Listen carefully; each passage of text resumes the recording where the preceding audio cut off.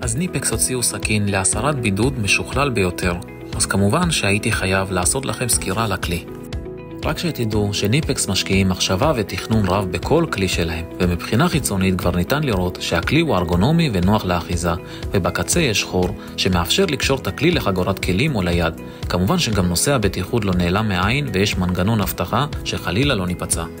לסכין יש ארבעה מצבים סגור, זוויתי, אנכי, ראצ'ט. אתם פשוט תעופו על המצב העבודה הזה, שווה לכם לראות עד הסוף.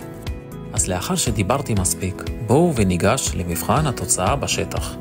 הסכין מסוגל לחתוך בידוד פלסטיק קשה מאוד עד עובי של 7 מילימטר. שימו לב שעליו מושחז גם מקדימה, מה שמאפשר לבצע חיתוך בידוד גם בדחיפה. ואם נרצה לבצע חיתוך סיבובי ב-360, גם זה אפשרי.